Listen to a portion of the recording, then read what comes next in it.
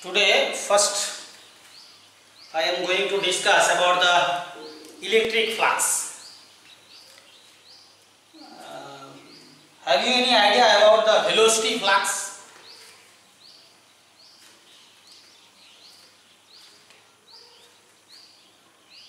Heard about the word velocity flux? Do you know? Yes or no? Velocity flux. Let us consider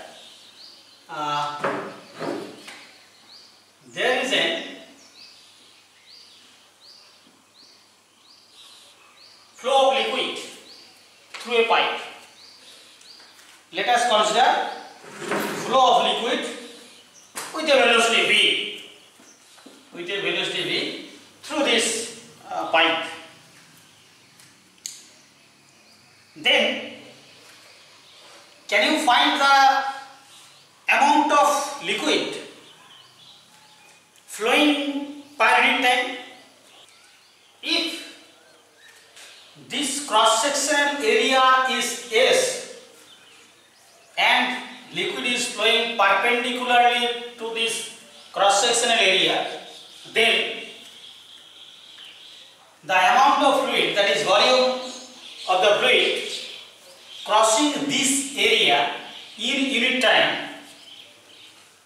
called the velocity flux. The amount of liquid passed through this surface perpendicular is called the velocity flux. What will be the amount? For this case, the amount will be V into S. Is it? Because let us say this length is V. Then the liquid inside this volume will cross this cross sectional area in one second. This water in one second go to this this water or this liquid will be after one second here right that means in one second total amount of liquid inside this volume will cross this surface area. That means the amount of liquid inside this volume will be equal to V into S. Then this Vs amount of fluid, this is the volume, V is the velocity, this is the volume, volume of the liquid inside this uh, volume is this V into S will cross this cross sectional area and that is called the velocity flux. Now if the cross sectional area is not perpendicular to velocity, that means say this is the cross sectional area. Then what happens? Then amount of liquid crossing this area in unit time will be what? Then that will be you have to consider this. This is the cross sectional area, right? You have to take the projection perpendicular to the velocity. Projection of this cross sectional area perpendicular to the velocity. Velocity is a vector, velocity vector of the liquid. That means you have to find out this cross sectional area. If this is S, then what will be this cross sectional area? Now, if this angle is theta, which is will be equal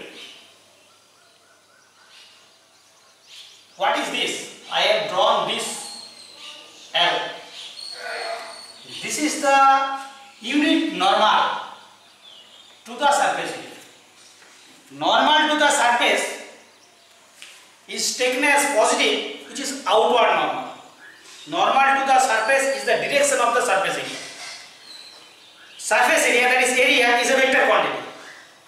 What is the direction of the area?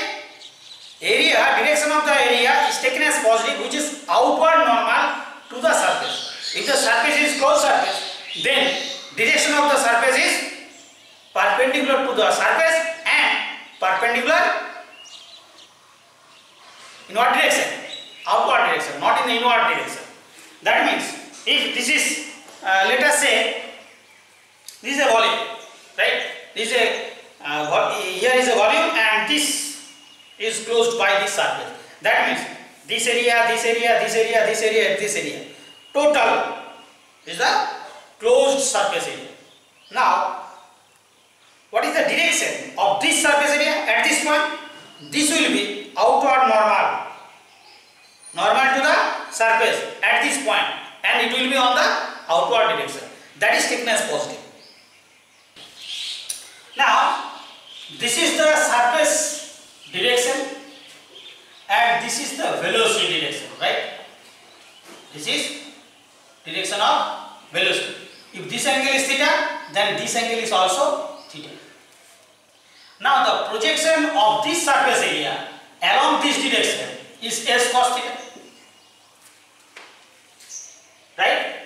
Therefore, the amount of liquid flowing through this surface area perpendicularly is equal to the amount of liquid flowing through this area which will be equal to V into S cos theta and this is taken as V dot S. This is called velocity flux. Velocity flux. Similarly, we can define electrostatics, electric flux. In the previous class, we have discussed that electric field uh, can be represented by electric field lines, right? Now, electric flux is or linked through a surface or with any surface. Electric flux linked with any surface is the amount of field lines crossing through or passing through that surface perpendicularly. The number of field lines passing perpendicular through any surface is called the electric flux linked with that surface. If we uh, say this is a surface, this is an area, and here there is an electric field. These are the electric field lines, right? Now, if we take a particular surface, let us say this is an surface whose area is ds. This is E vector, right? And this is the surface area. You may consider more lines. Clear? Now, the number of field lines crossing perpendicularly, number of field lines passing or crossing perpendicularly through any surface is called the electric flux linked to that surface. Now, E means what? What is the meaning of E in terms of electric field? Electric field intensity E. E means number of lines crossing unit area perpendicular. Number of field lines crossing unit area perpendicular. That is E. Clear? Now, number of field lines crossing ds area perpendicularly will be equal to EDS and that is the electric flux linked with the surface area ds. Is it clear? Now, here the direction of ds is this ds this is the area vector and this is e vector. That means if this angle is theta, here electric field lines do not cross perpendicularly through ds. So that that's why we have to take the projection. Projection of what? ds. That means area. In which direction? Perpendicular to the E. You have to take the projection of ds vector or ds area perpendicular to E. That means this. If this angle is this, then the angle between this ds and this area will also be uh, theta. Therefore, this area will be equal to ds cos theta. And in that case, the electric flux linked with this ds will be equal to number of field lines crossing perpendicular through ds which is equals to number of field lines crossing through ds cos theta. That means e ds cos theta. And that can be written as e dot ds right now if this is the whole area then you have to divide the whole area into infinitesimal number of area element of ds and then you, you have to find out the d phi that is the electric flux through that or those elementary surfaces and then you have to add. That means total flux through this surface will be equal to integration d phi which is equals to integration over s integration taken through the total surface area is equal to E dot ds. This is called the electric flux through any surface or you may write uh, this as like this also. Uh, e can be written as uh, E and ds can be written as n hat ds. n hat is the unit vector perpendicular to ds. That means this can be written as E dot n ds. E dot n ds. If theta is 0, if theta is 0, that means what? Theta 0 means what is? The angle between ds and E, ds vector and E vector is 0. That means field lines are perpendicular to the surface. Then you get what? You get d phi equals to E ds or phi is equal to E into s which is maximum. This is maximum flux. And if theta equals to 90 degree then d phi equals to ds cos 90 which is equals to 0 is minimum. That means there is uh, that means electric flux is 0 that means no field lines crossing through that surface. In which case if the field lines are parallel to the surface field lines are parallel to the surface that means if this is the area this is area vector this is the area or surface area and field lines are from here to here parallel then no field lines crossing through this surface that means flux is zero dimension of electric flux. Dimension of electric flux E is dimension of E and dimension of S. Dimension of E we have uh, studied earlier.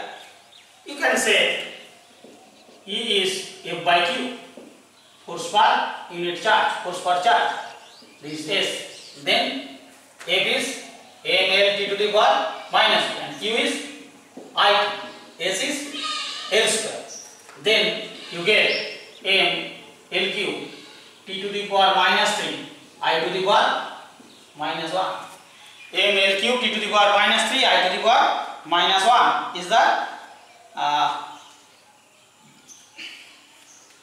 dimension of electric flux SI unit of flux is unit of E is Newton per coulomb. S is meter square. That means Newton per coulomb into meter square. That means Newton meter square coulomb to the power minus 1. Newton meter square coulomb to the power minus 1. Or you can say Newton meter is joule. You can say joule meter coulomb to the power minus 1. This is also the SI unit of flux. Now, if field lines are coming out of a surface, if field lines are coming out of a surface, then electric flux is taken as positive flux. If field lines are going into any surface, going into any surface, then the electric flux is taken as negative. That means flux through these surfaces are negative and flux through these surfaces are positive because through this surface field lines coming out which is taken as uh, positive flux and in these surfaces you can see field lines going into the surface. Clear? Total flux through any surface will be equal to the net field lines through that surface. That means the number of field lines coming out is positive, number of field lines going through, going into the surface is negative. You have to add these two algebraically, plus, minus, whatever. Clear? Uh, you see here, if this is the actual case, then number of field lines going out is equal to number of field lines going in. That means net field lines crossing through this surface is zero. That means flux is zero. If number of field lines coming out of a surface is equal to number of lines going into the surface, then total flux will be